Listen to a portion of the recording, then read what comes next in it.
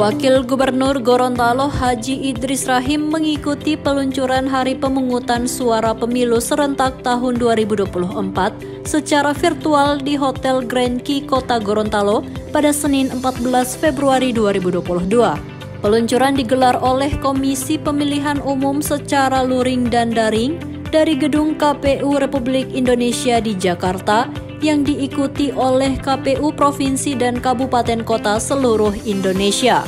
KPU menetapkan hari dan tanggal pemungutan suara pemilu serentak 2024 yakni pada hari Sabtu, tanggal 14 Februari 2024. Hal itu tertuang dalam surat keputusan KPU nomor 21 tahun 2022 yang ditandatangani oleh Ketua KPU Ilham Saputra. Wagub Idris atas nama pemerintah Provinsi Gorontalo menyampaikan beberapa hal terkait persiapan tahapan pemilu, di antaranya menyangkut validasi data pemilih, anggaran, serta kesiapan partai politik.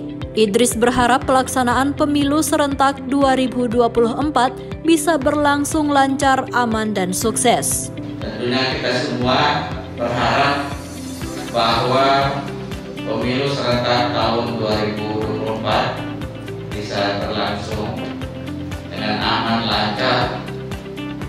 Karena kita ketahui bersama bahwa kedaulatan itu berada di tangan rakyat dan dilakukan sepenuhnya oleh rakyat. Dan penyelenggaranya adalah KPU dan Bawaslu yang diharapkan bisa benar-benar profesional melaksanakan tugas yang cukup terapi.